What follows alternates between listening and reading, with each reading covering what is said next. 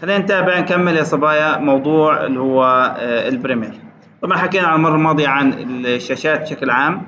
حنفصل فيها بشكل تفصيلي يعني في العمل. طبعا آه، إحنا حكينا عن موضوع اللي هو ال workspace صح؟ ال workspace هنا من Windows. workspace.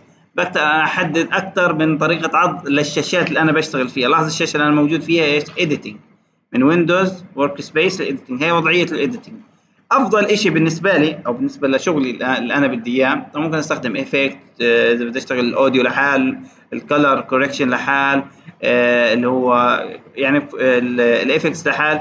أفضل شيء اللي هي editing CS 5.5 هذه نظام آه، توزيع شاشات يعني حتى أنت بتقدر تتحكم في الشاشات. كيف بتحكم في الشاشات؟ باجي هنا شايفين الشاشة اللي على اليمين؟ ها بين الشاشات بقدر أكبر وأصغر ها؟ باجي هنا بقدر أكبر وأصغر. أيضا بقدر أسكر الشاشات هي الشاشة هذه إيش؟ اللي هي ال sequence أو ال program اللي عندي ممكن اسكرها وأفتحها ثاني من خلال إيش؟ Windows Windows هي في عندي لاحظ عندي هنا مثلا ال project اختفى صح؟ وين ال project مفتوح؟ أو المشروع؟ لا ما ما اختفاش ما مش مشكلة. مثلا ال source monitor ال source monitor لو لغيته بيلتغي معي من هنا. هيك التغى بس الماوس فيه مشكلة. هاي source monitor لو ضغطت عليها بيظهر معي source monitor طبعا هذه كلها شاشات. ممكن أيضا أتحكم في الشاشة أو ال windows كيف بمسك ال windows يا صبايا؟ طلع. في عندك هنا نقاط. شايفين النقاط جنب كل windows في نقاط. هان النقاط. هذه النقاط معناته إنه أماكن الامساك خليكي معي بسيب لك وقت تشتغلي. أماكن الإمساك. شايفين هذه النقاط؟ بقدر أمسك وأسحب أروح على ال tab اللي بعديه تابات نظام تابات. كيف ال browser؟ نفس ال browser.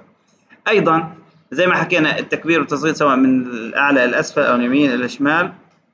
عشان أكبر شاشة العرض أو أكبر timeline أو sequence كيف ممكن أنا أشوف الأدوات. أيضا موضوع وضع الشاشة. يعني لاحظ هذه الشاشة بمسكها بطلعها لو بطلعها برا تطلع معي صح؟ هي طلعت معي. إيش اللي ظهر معي؟ شايفين؟ المربعات والنظام المنحرف كيف أنا شلته من النقاط هذه من النقاط؟ سيبيكي من الشغل خليكي معي. الآن هذه إيش إيش ميزتها؟ بقول لك إنه أنا ممكن اضعها في أكثر من مكان. بدي على اليمين على الشمال فوق تحت هي على اليمين تظهر كقائمة شاشة لحال. ما بديش اياها شاشة لحال بدي إياها ضمن هذه الشاشة بحطها في النص. تصير ضمن الشاشات الفرعية ضمن الشاشات الفرعية اللي أنا بدي إياها. بدي أحركها ضمن التابات بمسك من فوق بحرك على الشمال عشان تصير إيش؟ ال tab الأساسي أو ال tab الأول. مثلا ال audio mixer بديش إياه بسكره. آه ال metadata ال metadata هذه معلومات عن الفيديو حنحكي عنها. وفي عندي ال effect control هذه أيضا مهمة ممكن أنا أضيفها هنا. تمام؟ فهمنا كيف إحنا نعمل التحكمات هذه؟ اذا هذه اذا الأساس عندي عملية التحكم في الشاشات من خلال النقاط ها النقاط اللي ظاهرة عندي وبقدر أحركها بالإضافة لعمليه التكبير والتصغير لل windows اللي أنا بستخدمها أو أيضا موضوع اللي هو ال workspace أنا ممكن أتنقل من خلال أكثر من session أو أكثر من workspace ممكن أنا أصمم workspace خاصة بي يعني يعني في شاشات إضافية أنا ما تلزمنيش زي ال markers أو غيره. ممكن أنا ألغيها وأحفظ أعمل file زي هيك وأقول له إيش؟ new workspace بحفظ workspace خاصة فيه. تمام؟ خاصه بي لكن أنا افضل ال CS 5 كيف ممكن إحنا نرجعها؟ من Windows new إيش؟ new workspace بروح على شايفين السهم اللي هنا بقول إيش؟ new workspace إيش يعني new workspace أنا نفس ال workspace أنا إيش عملت؟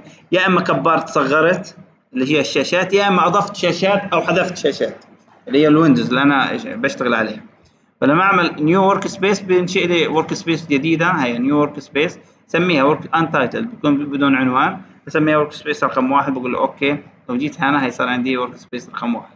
ال workspace أنا إيش عملت فيها؟ إيش يعني إيش الإجراء؟ إني يعني عملت الإعدادات اللي عندي بحيث إن أنا أقدر أتحكم في الأبعاد بالإضافة إلى الشاشات واماكنهن بالإضافة لإضافة شاشات وإلغاء شاشات. تنسيش عملية اللي هي الويندوز؟